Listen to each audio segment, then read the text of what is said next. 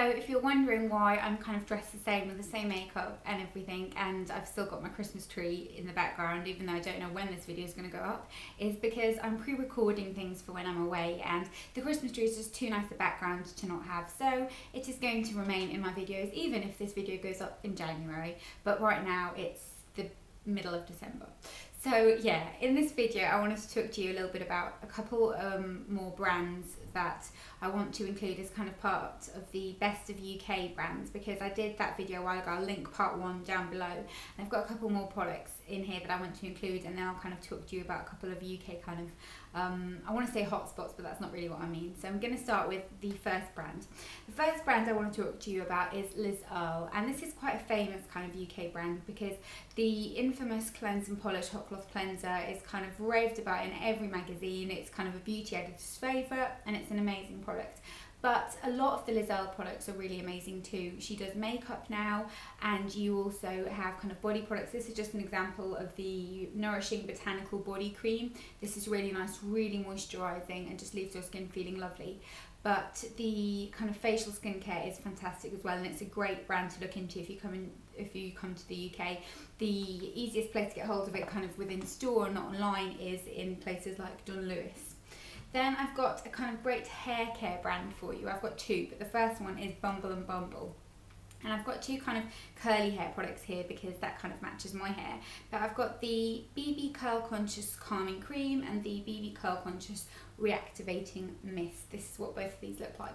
Great, great UK brand. I really like the Sunday shampoo as well to kind of clarify your hair. But you can buy these in Space NK, some John Lewis's have them. It's something that you can kind of find if you're mooching around in stores in the UK. The activating um, curling mist is really lovely. I'll kind of spray a little bit into my hair now and show you. It smells gorgeous and it can kind of just boost your hair up a little bit and give it that little bit of extra oomph but great, great brand and definitely something to look into. I know you can get this in the US, but maybe not the entire line of products, so that's something that you might want to um, bear in mind. Then I have got a makeup brand here for you and this is actually one of my favourite makeup brands in general. I pretty much love everything I've ever tried from this brand and that's saying something because I try a lot of makeup.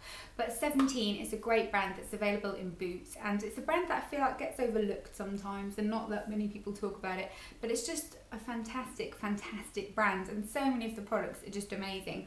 I love a lot of their foundations. My favourite one is the Stay Time foundation, but I also like the On The Spot foundation. So definitely look into buying this. It's a nice full coverage foundation. Definitely look into buying this if you're in the UK because it's amazing. And then they do um, this concealer. This isn't my personal favourite just because of the colour. It's a bit too light for me, but the Pore Paint Concealer. This is a great dupe for Benefits um, erase paste. It's a lovely dupe for that, very, very inexpensive. The packaging of it's nice. Um, their face powders, the, I want to say it's called Stay Matte, but it's not. I can't remember. Miracle Matte face powder is lovely as well. And then they also do some great um, lip products and mascaras and that kind of thing. I like pretty much all the mascaras, but the favourite lip products of theirs are the Mirror Shine lip and they kind of come in this cute packaging with a little clip out mirror and they're just a kind of very lovely moisturizing texture I really really like these they're possibly one of my favorite lipsticks ever and I own a lot of the colours that they do and um, really lovely. And then another one that they do is the Stay Pout and they're the kind of um, longer lasting lipsticks but still very lovely and they stay on beautifully. So that's um, number 17. And then they've also got this really lovely cream bronzer that's out at the moment that I've been using, which looks like this. And it's a really unusual product for a drugstore product. So definitely look into that because 17, as I said, are a great, great UK brand. And then um, my other one is a fragrance. And I know you can get these in the US, but it's definitely kind of a cult UK brand. You can get this in various places, Selfridges, um, various Space NK stores and this is Jo Malone and this is my favourite one. It's the lemon not lemon lime basil and mandarin cologne and these are amazing. The candles they do are amazing. The whole experience of buying something from Jo Malone is just beautiful and I really recommend if you've come from a you've come from abroad and you're kind of having a little trip to the UK buying a fragrance that's kind of traditionally British um, will be really nice because it'll kind of remind you of your trip. I think that's a nice way kind of of mem to store memories if that makes sense really like that. And then last but not least, I've got a hair care brand and it is of course John Frieda. Now I know that John Frieda is available in other countries as well, but it is a British brand. And two of my favourites at the moment are the Frizz Ease Curl Enhancing Oil and the Liquid Shine Perfect Glosser. I've been using this one, I've been straightening my hair and I really, really like this. But again, a great UK brand and it's a great drugstore brand that you can buy in Boots or Superdrug. So those are kind of my little brand mentions. And then I'm going to talk to you about if you're visiting the UK and things you want to look out for. So obviously you want to make sure you go to Boots and Superdrug.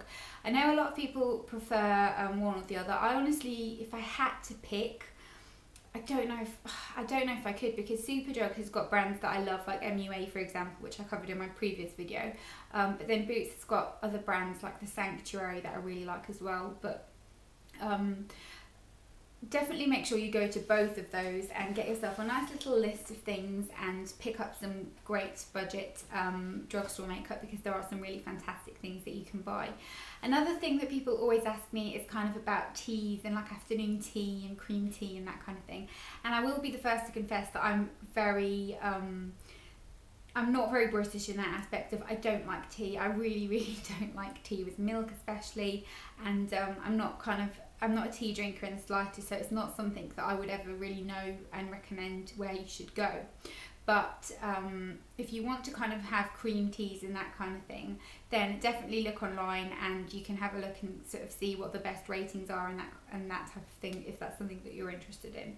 Another thing that's really worth mentioning is going to Primark. It's a kind of very strange experience. The first time I ever went to a Primark, I was a little bit surprised because it wasn't what I expected, and it can get a little bit jumbo saley, and it can get a little bit messy, and the things in it can sometimes look like they're not very nice quality and very cheap. But you have to know what to shop in Primark, um, how to shop, and I find that buying things like underwear, pajamas, um, basics are really, really great in Primark. Accessories, that kind of thing, are really good but I wouldn't necessarily buy things like um, evening wear and high heels and that kind of thing from there because I just find the cuts aren't very great and the quality's not that fantastic. But for basics, it's a really, really good thing.